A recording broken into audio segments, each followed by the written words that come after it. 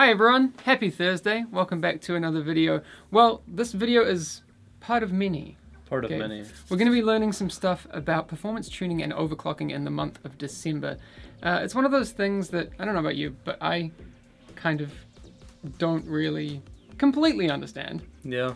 I definitely thought I might have understood a little bit. Now I'm like, Yeah. I was real wrong about a lot of things. To kind of demystify the whole process of performance tuning and overclocking, we thought it was better that it came from an expert because that we aren't. Hmm, yeah, he knows a lot more. So, if you happen to catch the podcast that I recorded with Isaïe earlier in the year, you already know who I'm talking about. Isaïe is from Overclocking TV and knows a whole heap more about this subject than we do. So, we're glad to have him here in the studio to demystify the whole process for I think, us. I think we even called the podcast Overclocking Master. Mm, Probably about accurate. it's pretty accurate. It's pretty accurate. In this first video, you'll get to learn about the Open Benchtable project that him and a few of his overclocking friends have been working on, and it's super, super cool. We actually got our own special NGON like It bench has, table. it has a little engraving on it, a little NGON logo engraving. It's pretty sweet. I would say it's way more than pretty. I kind of freaked out when I saw it. I was like, Gabe, I was we made it. I was scared when I saw it in the box because when it's flat, it actually looks kind of scary. There's like a lot of little knobs and twisty things everywhere, but then when you unpack it, you're just like, oh, this is, this is beautiful. So we take a look at the open table and we actually put a couple of those together and show how it all works and talk a little bit about what you can expect from the coming weeks. Anyway, let's get stuck in with the first part of this overclocking series. Big boost! Big boost.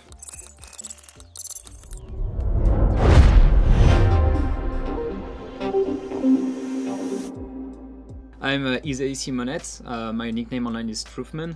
I've been around this specific industry for more than half of my life. I've been involved in a lot of different projects around this uh, overclocking and performance tuning uh, industry and community.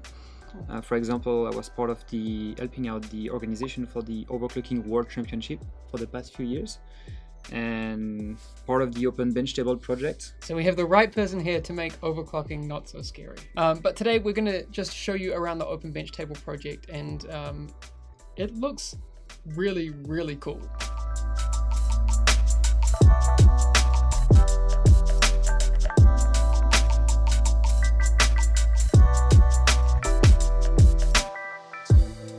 So for the people who don't know about the open benchtable, why did you make this? because I needed one. You needed Actually, one? the, the whole project needed one. Yeah. Uh, back three years ago when the project started, uh, we wanted to make something that was light, portable, but still robust to have like a huge, like a quite powerful system to be built. Yeah. And we're moving around the world. So we had issue with the amount of weight we can get in, the, in our luggage. And uh, we, we needed something that could be fast to build without any tools. So Overclocking TV, so myself and Timothée, we joined with uh, HW Bots and Streacom to actually make this project happen. What were people doing at events before the open benchtable existed? So either they use the the cardboard from the motherbox, from Ah, the, okay. the sorry the cardboard from the motherboard, Yeah. which will be not really good looking, but no, Works. it, it works. It works. And otherwise, there was other kind of bench table on the market as well, but they are a little bit bigger, so it's not easy to transport uh, when you move around.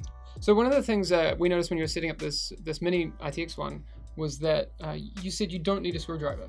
Yes. So the whole point was toolless and easy to build. Mhm. So um, I, I didn't time actually. Um, It must have been less than five like, minutes. Yeah, it's we usually say we should do a competition about that. Yeah, we can speed build them. Which one of us could beat it the fastest? well, it's definitely you, but but yeah, it didn't take long at all, and you didn't need a screwdriver. So they're all thumb screws, and so some screws, it's all um, all sit in itself. Mhm. So if you pack it up, it's actually just all fit in there. So it's like one uh, one plate. it's pretty solid. It's really solid machined uh, metal. It's So- uh, it's one big piece of aluminium. Yeah. It's uh, CNC'd out, and uh, the key one was the the least uh, waste in, Mm-hmm. in a way, and something that is robust.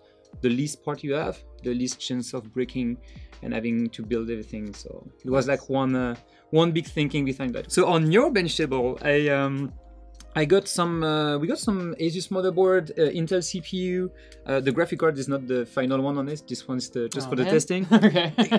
But we have a 1080 Ti in the back. I Mhm. know we have uh, some 2070 or some other cards that might be might be popping up on that in the next few videos. Uh, Corsair memory DDR4 and a Corsair all-in-one uh, coolers. So on this platform, there's gonna be a 9700K, which is an unlock CPU from Intel. I say it like this, but it's actually a real unlock CPU. Okay. Um, so that will allow us to change some of the settings and reach out further than it's actually so, uh, sold for. Uh, this one is just a Vengeance RGB Pro. Okay. Uh, this one is 36 3600 megahertz in terms of frequencies. The other kit I have is very interesting because it's 64 gigs of DDR4 memory at 4000.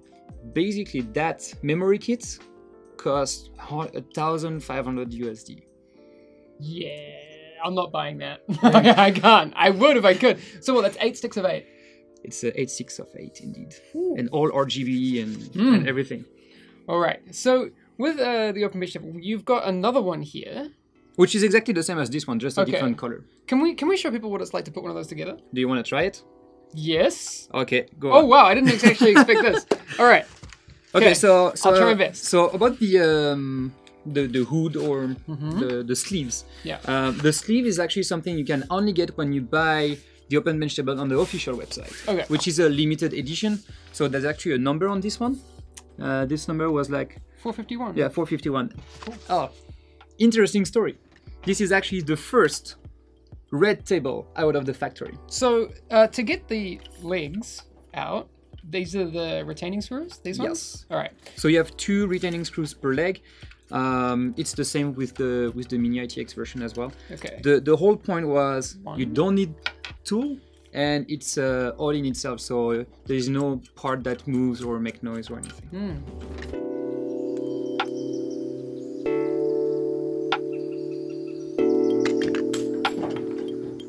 All right. Are you building it? Yeah. I was not expecting that.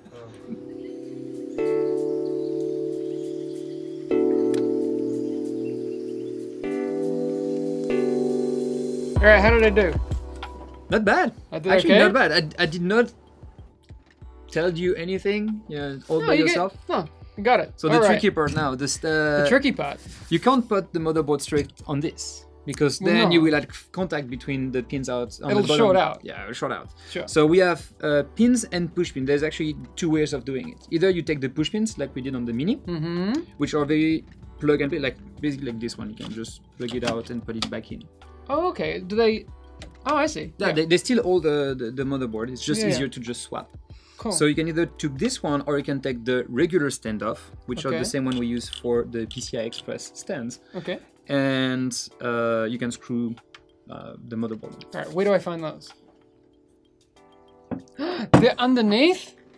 Oh, the, I see. So that's the PCI Express one. Cool. Can I do a couple of these? Sure, you can do four if you want. Cool. So this will depend on the motherboard design that you have. Sure. So for example, this one, the first. Um, So we could adjust these depending on the slots once we get the motherboard on. so usually it's uh, never the first one on all the new motherboards. Uh, it's usually the second and third one. Okay.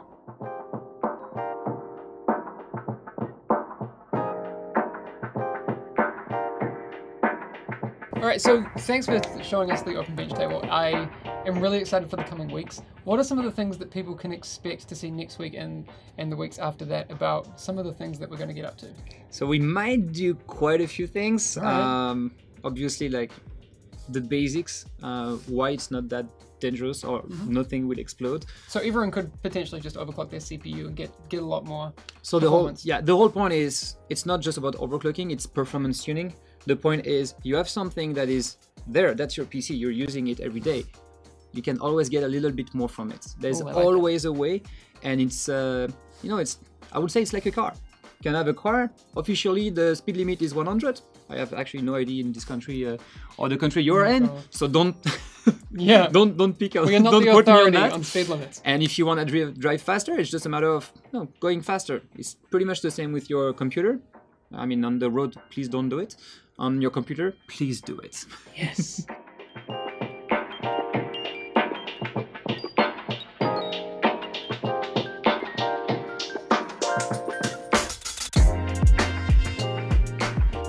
Thanks again for coming by. Make sure you join us next week where we're going to dive into a little bit of uh, overclocking fun. Mm-hmm. We're going to take a look at some quick things you can do to improve your RAM speeds as well as uh, some of the limits you can hit with your CPU.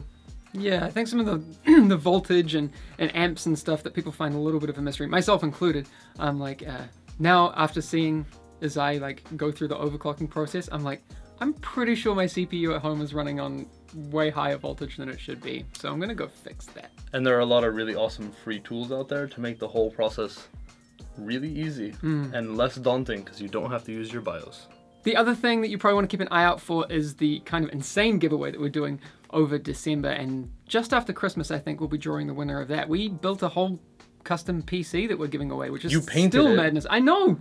It's, It's uh, not in here. It's not in here, but it's crazy. And um, someone is going to be sent out this whole PC that uh, we actually got some parts from Gigabyte and AMD hooked us up, Western, Western Digital, Digital. as well. So it's uh, it's shaped up really nicely, and I'm actually going to be really sad to see it go to a new home. But But happy at the same time. Mm, because someone else can play games on it. Yeah. Big boost.